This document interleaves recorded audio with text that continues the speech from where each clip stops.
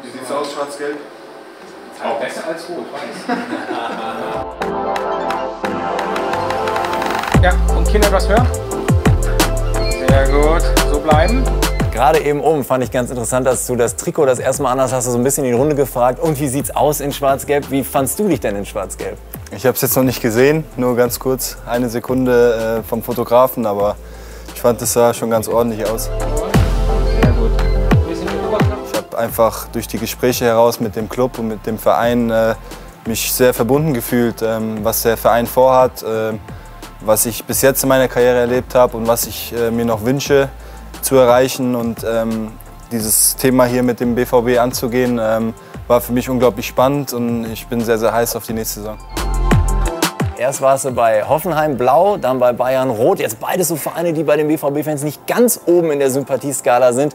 Inwiefern hast du dir trotzdem vorgenommen, ich sag mal ein bisschen pathetisch, die Herzen der BVB-Fans zu erobern und wie hast du das vor? Ich glaube, in erster Linie kann ich das schaffen, indem ich einfach gute Leistung zeige und die, die Leute sehen, ey, äh, der wirft sich für die, für die Vereinsfarben rein und das habe ich auf jeden Fall vor. Und ähm, im besten Fall, äh, dass wir noch unglaublich erfolgreich werden, ähm, was natürlich auch ähm, meine Ambitionen sind und ich glaube auch die des Clubs. Und ähm, dann werden die Leute, denke ich, auch wieder sehr viel Spaß haben, äh, ins Stadion zu kommen und dann auch äh, vielleicht sogar zu sagen, ey, der war ein ganz guter Einkauf. Das, das ist mein Wunsch. Ich habe mit beiden mal geschrieben. Ähm, ich kenne ja beide gut aus der Nationalmannschaft, sind beides sehr, sehr feine Jungs, äh, die ich gut leiden kann, äh, hervorragende Talente. Und ich glaube, dass, dass der BVB äh, da richtig gute Transfers gemacht hat. Die Ambitionen äh, des Clubs haben sich schon gedeckt mit meinen äh, Ambitionen. Deswegen ähm, war das auch gleich sehr, sehr schön zu sehen, ähm, dass man da wirklich zusammen an ein Ziel glaubt und, und äh, zusammen dieses Ziel erreichen will. Ich kenne viele Jungs hier aus der Mannschaft bereits. Ich weiß, was es für super Jungs sind, super Kicker sind und dass wir mit, mit ähm, ja, natürlich einem kleinen Umbruch oder einem kleinen Umschwung im Kader auch ähm, auf jeden Fall einiges erreichen können.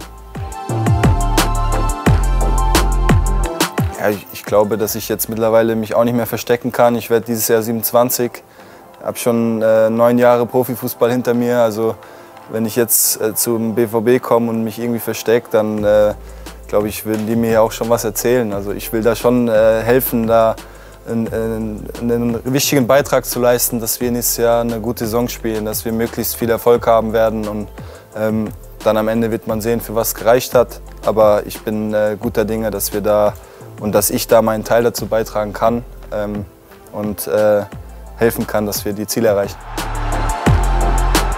Also ich kenne den Gregor ja auch schon aus Hoffenheimer Zeiten. Da hat er sich gut entwickelt, weil da war er noch nicht so laut. Aber jetzt äh, ist ja gut, wenn er, wenn er vorweg geht und auch äh, schreit ähm, oder Kommandos gibt. Äh, Im Fußball gibt es ja verschiedene Charaktere, verschiedene Mentalitäten, ähm, wie man vorweggehen kann. Das ist meine Meinung dazu. Ähm, es muss nicht jeder der absolute Lautsprecher sein, man braucht aber Lautsprecher im Kader. Ähm, ich bin erfahrungsgemäß nicht der absolute Lautsprecher, aber ich versuche halt durch meine Werte ein bisschen so äh, meinen Mitspielern ein gutes Gefühl zu geben. Vielleicht auch, dass sie ein gewisses Vertrauen haben, wenn ich mit denen spiele. Ähm, es war bei Bayern auch schon so, dass ich da jetzt auch nicht der Große war, der da rumbrüllt, aber eher so das Gefühl geben wollte, ey, ähm, da ist einer, der weiß ich, was ich bekomme, der hat Ruhe am Ball und kann trotzdem auch mal den Mund aufmachen, wenn es was zu sagen gibt. Ich, ich weiß, was ich reinbringen kann und werde und das versuche ich bestmöglich umzusetzen. Da sieht man, wie, wie emotional dieses, diese Fans sein können, was ja das Geilste eigentlich im Fußball ist. Äh, wenn da Emotionalität reinkommt und äh, du hast als, als gegnerische Mannschaft hier gespielt, aber hast dich irgendwie auf dieses Spiel immer gefreut, weil es einfach so einmalig für mich ist in Deutschland, wie diese gelbe Wand da hinter dem Team steht. Und wenn wir das hinbekommen durch guten Fußball und durch ehrliche, ehrlichen Fußball, die Fans da jedes Wochenende für uns äh, da zu haben, dann werden wir wirklich äh, ein paar Prozent immer mit dem Vorteil ins Spiel gehen. Und ähm, so habe ich Dortmund kennengelernt als, als Spieler noch von anderen Vereinen und so hoffe ich, wird es auch nächstes Jahr als Spieler für diesen Verein sein. Ich glaube, da oben ist auch geil der Platz. Da kannst du sitzen, siehst die Südtribüne eigentlich und kannst das Spiel aber auch gucken. Wenn wir das hinbekommen, äh, ein äh, eingeschworener Haufen zu werden, oder zu sein. Dann haben wir fußballerische Qualität hier sowieso äh, ohne Ende und dann können wir wirklich eine gute Rolle spielen.